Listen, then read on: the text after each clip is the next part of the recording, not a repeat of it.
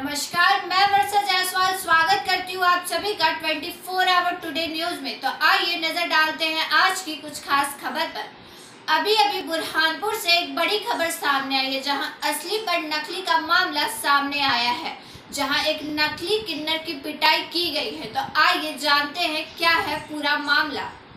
बुरहानपुर के तहसील कार्यालय के बाहर नकली किन्नर को असली किन्नर ने पकड़ा और कर दी पिटाई।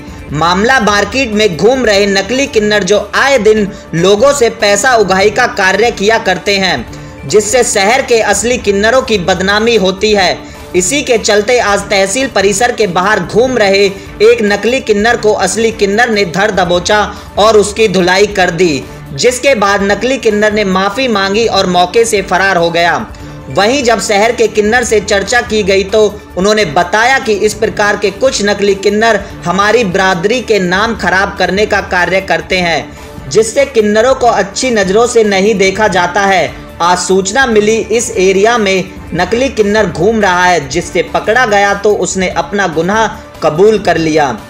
नकली किन्नर भैया जी, हम लोग तो देखो दुआ आशीष वाले हैं। पकड़ हैं। है हम तो दुआ आशीष वाले हैं। बच्चे वालों के बच्चे जिए हम दुआ करते हैं। ये हमारा नाम लोगों के लिए जाके सब कुछ मांगते हैं कि हमको पिंकी भाई ने भेजी पिंकी भाई ने भेजी है हम किसी को नहीं भिजाते हैं।